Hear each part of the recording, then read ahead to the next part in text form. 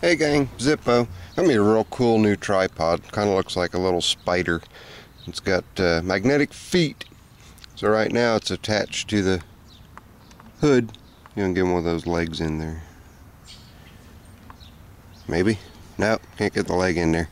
But anyway, here's the hood to the old B10. Um, and see how nice and smooth the panning is and everything? Sweet! Okay, enough of that. Got the fleet outside. And I brought it out mainly because of the addition of the old Squire 9, aka Engine 44. And uh, right beside her, the old landlord. Right beside that, the old Squire. So I got both my Squires flanking the old landlord. And we've got uh, Ugly Alice sitting here in all her wonderful glory. Sporting an old uh, Murray.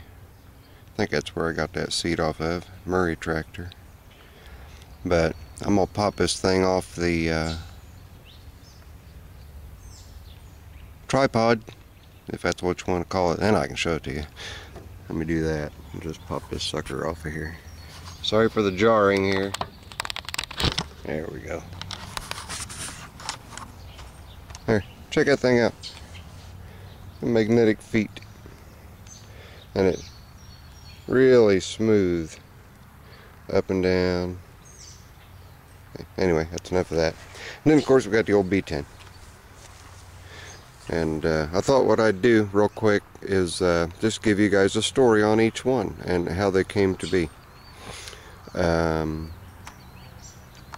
over in Ohio, uh, buddy of mine, Craig, put this up on eBay, and for whatever reason, uh, nobody put any bids in on it. So I threw a bid out there, and I paid $100 and 86 cents. But that turned out to be a treasure trove of a trip going out there to pick this up. I picked it up by itself. Uh, the story behind it is that its entire life was spent only tilling.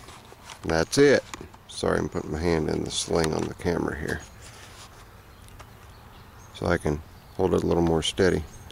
Um, spent its entire life. It was purchased specifically to till. Had a 10 inch overdrive pulley on it and tiller mount and tiller uh, when uh, Craig got it.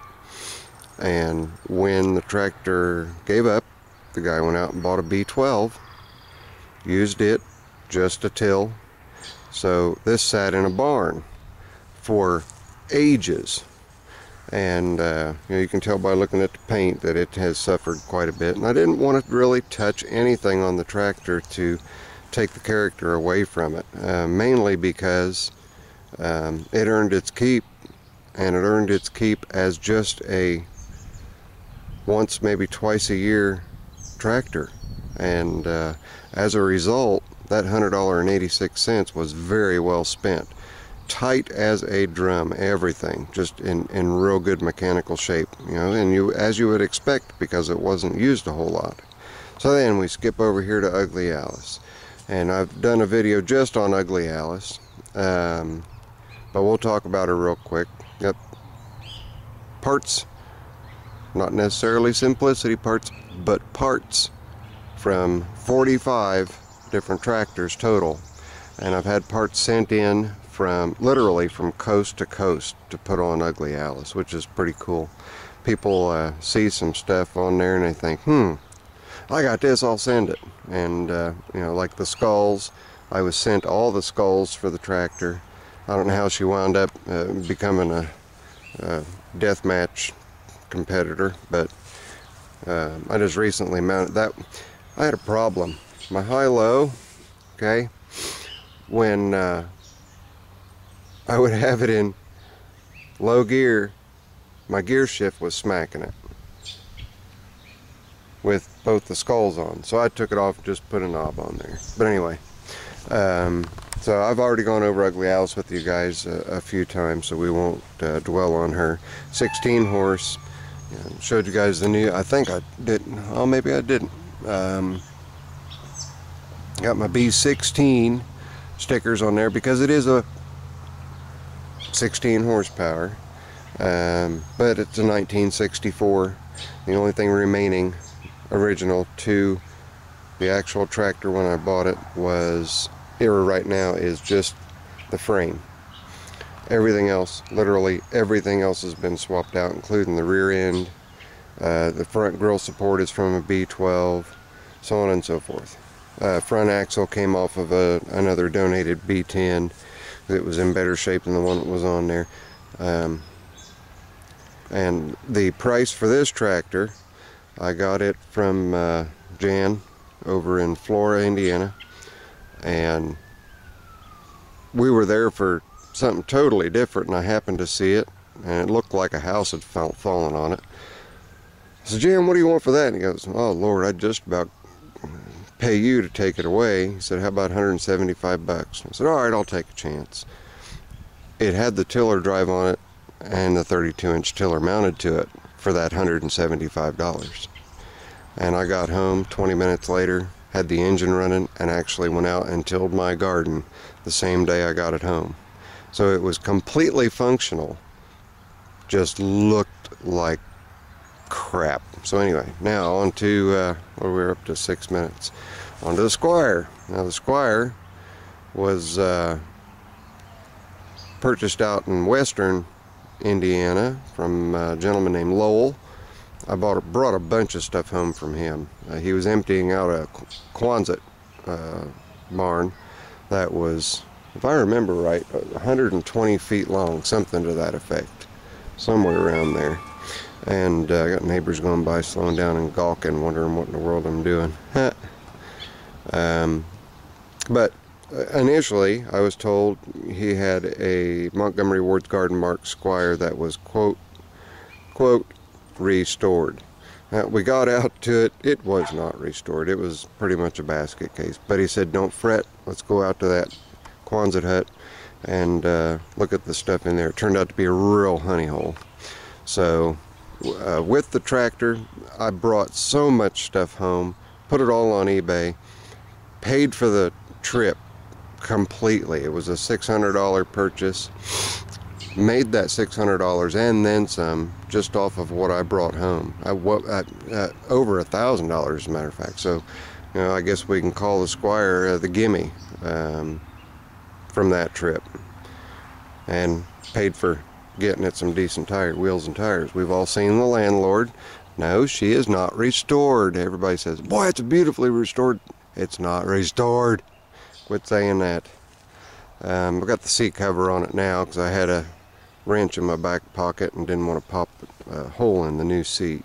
But um, the old uh, old landlord. If you guys want to hear a story or read a story exactly the origin of uh, the old landlord and all that, instead of me getting into it here, just go to Simple Tractors and uh, look up Tractor of the Month. You'll see it on the banner that uh, uh, is on the home page. So just click on tractor of the month. I've entered it for uh, tractor of the month there told the story. And then of course Brian buddy uh, Pam done told me stay the hell away from you that that you belong to her. And I, I told her that was just fine. I don't swing that way. So we had a good laugh this afternoon about that. But uh, I'm still I'm just awestruck you know what a gesture fantastic awesome gesture um, haven't painted the wheels yet. I did go ahead and throw some hubcaps on. Those are not permanent. I will have Firestone tri-bars, wide tri-bars on it, just like the ones on uh, the old Landlord. Um, hydro will not go on this one. I do have a hydro that will go on Ugly Alice. I'm just waiting on the bevel gearbox bracket to mount the uh, slave or the the uh, hydraulic cylinder to. But now we're going to take a walk around the back of it. Uh, you can see that the rear sleeve hitch and uh, um, seat pan stop right there are donated from a B10, the same B10 that donated the front axle to Ugly Alice over there. Uh, all in all, I, am I'm I'm I'm thrilled. I'm I'm not going I'm not going to nitpick the little things. You can see down here I've got to clean the hub. I'm just going to pop the wheel off, clean the hub real good, degrease it, uh, scrape any flaking paint off and give it a shot of the copper. And then, of course, everybody always, whenever, it's funny, I go to the tractor shows and I go to look and I'm riding around on the old landlord. I can't make it 15, 20 feet between people stopping me. Hey, are you Zippo? Dude, your videos on this or your videos on that and blah blah blah. And it's I, it it's heartwarming actually because uh, that's why I do it. I do the videos to help people out. So, and since I'm getting back into the swing of throwing more videos up, for those of you who have uh, some problems, I'm uh, going to be more attentive to my inbox and my comments. Um, since things are settling down here with uh, taking care of uh, personal business. But uh, I, am sorry, I just can't quit looking at the garden mark and my hand just followed it. Again, engine 44, engine 44, and I explained that in the video that I posted up yesterday. But there we go, guys. You're uh, getting the back shots here, and the seat that's on the Squire now was sacrificed off of my older Squire and this seat pan is from actually from that landlord when I got that landlord uh, originally. So you, know, you can see even though you know, it's got a pretty good tear going along here uh, if you guys go read that story it's kind of amazing that that seat is in any kind of shape at all with spending the majority of its life stuck in a culvert with a uh, tire uh, busted off the bead. Um, I used the old Squire for the plowing duties, for the grading duties, for pulling the trailer. You can see I've got a hitch mounted here. Mounted a hitch to Ugly Alice too. Uh, just one stays in the garage, one stays in the shop, so that way I don't have to go halfway across the country to get a tractor to move a trailer or something like that. And then of course the old B10 again. And another thing, um, I, I, I, have to apologize because I don't remember who sent me the uh, uh, belt covers for this deck, but they were originally B, uh, B series deck because you can see the paint flaking off on it. And I didn't have covers when I first got the, the, the deck. And one of the Simple Tractors guys sent me those. So pretty cool. And you can see she's wearing original tread on the back because I need to get another set of ag tires. But I gotta wait a while. Um, anyway, oh, there's something little. There's a toolbox off of Massey Ferguson that I just painted silver and mounted the original Allis Chalmers emblem with the cream background, which really is, wasn't in too bad a shape. Mounted that to the toolbox and I don't put much in there just a towel and a pull rope and a, a uh, shop rag and paper towels just whatever I happen to need to take along with me I take there's my Diet Coke. We cannot leave home without it. And let's see here. I, I was going somewhere with oh the uh, grill mesh is actually from two different grills. You can see the line going right across there. The top of this original grill mesh was just toast. And, you know, overall, I, am not complaining.